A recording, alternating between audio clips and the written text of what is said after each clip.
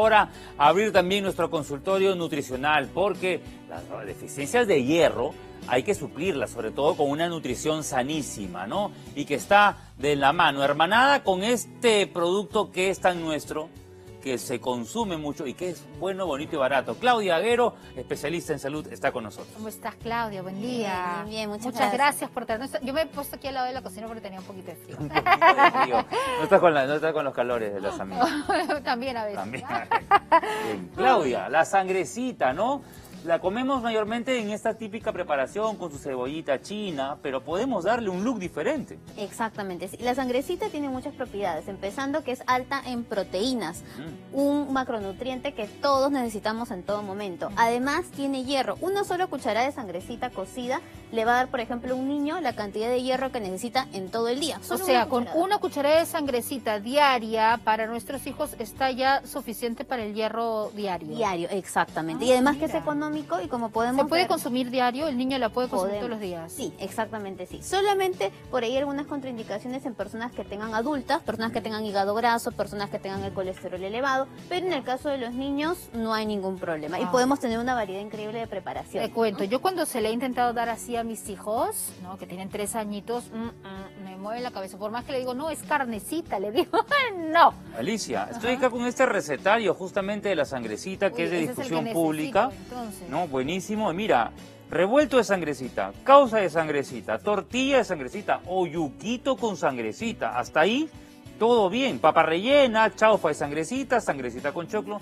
Pero tú te imaginas mousse de, sa- de sangrecita. ¿Mousse? ¿Qué que de plátano y sangrecita? Mazamorra de sangrecita. ¿Hasta dulce podemos hacer con ello? Exactamente. Y de hecho los niños piensan que es chocolate por el colorcito que Ah, tiene ¿Qué tal estafa?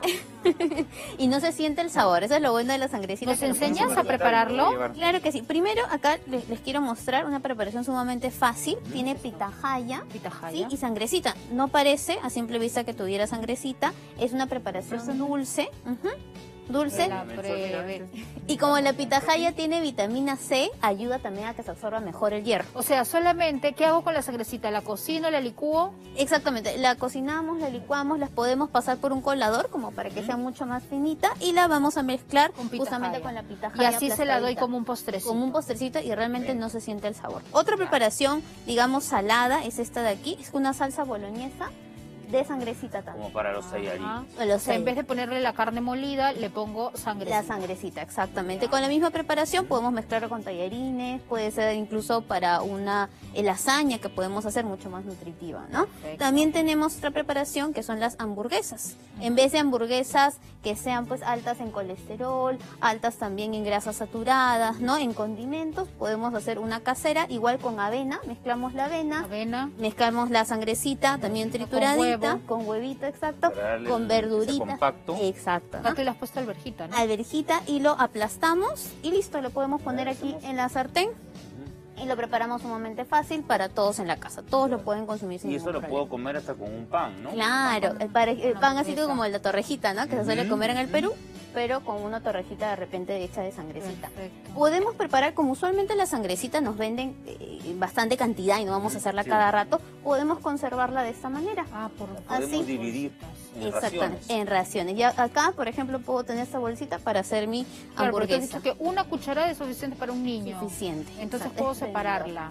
Es bien. Congelarla. Congelarla. Arriba. Ya cocida. Ya está Ya- cocida. Ah, cocida. Ya cocida y lo puedo preparar, ¿no? ¿Cumplo mis deficiencias o mis bajas de hierro o cumplo con la cuota nutricional del hierro? Para un adulto también es, eh, ¿qué sería? ¿Dos cucharadas? Dos cucharadas aproximadamente si es una persona que no tiene anemia. Si tenemos anemia pueden ser hasta tres cucharadas. Hablamos de personas que tengan una deficiencia de hierro de 9 más o menos de hemoglobina. Aquí, les puede ir bastante bien. muéstranos por favor, tú has traído, ah, ya las hamburguesas, así se... eh, Separaditas, exacto. Ah, Podemos prepararlas y ya, ya las la tenemos Ya ahí. la rompiste.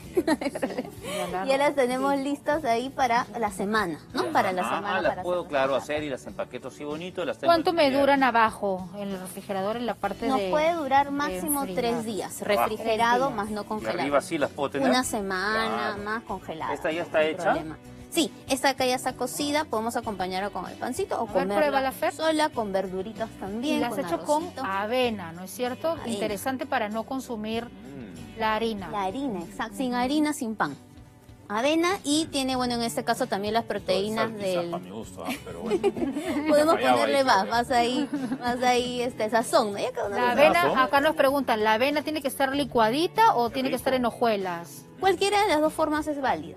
La idea de es que esté seca, ¿no? Que no tenga agua para que finalmente la Porque con el huevo es que ya haces esa consistencia. esa consistencia ¿no? y se, se compacta, ¿no? Es sumamente fácil, podemos comerla con pan, puede ser en un desayuno, puede ser en un almuerzo, puede ser en una cena, para toda la familia en realidad, sin ningún problema. Bueno, ahí estaban entonces las opciones. Excelente, ah, muy bien. Aprendemos entonces con la eh, a preparar la sangrecita, sacarle provecho, no solamente en lo salado, sino también en lo dulce. Ah, qué interesante, muy bien. ¿Estas recetas las tienes en tus redes? Sí, la tenemos en redes sociales también, me pueden buscar en Instagram como NutriClau AM y en Facebook también como nutricionista Claudia Agüero para que puedan aprender diferentes recetas para toda la familia. NutriClau AM. En la, en la mañana y en la noche también atenden. En la noche también. En la mañana y en Sí, la noche. AM y se puede PM. hablar. Bien, Alicia, mientras tú Claudia. con Voy Claudia a preparar una hamburguesa. ¿qué te parece?